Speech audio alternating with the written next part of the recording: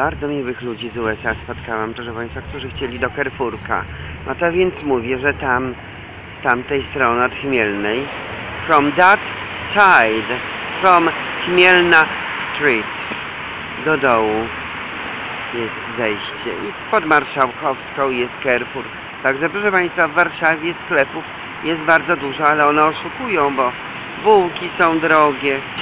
Pozdrawiamy serdecznie. No i że te buziaczki przesyłamy, buziaczki, buziaczki. No ale oczywiście, że proszę jeść kaczki.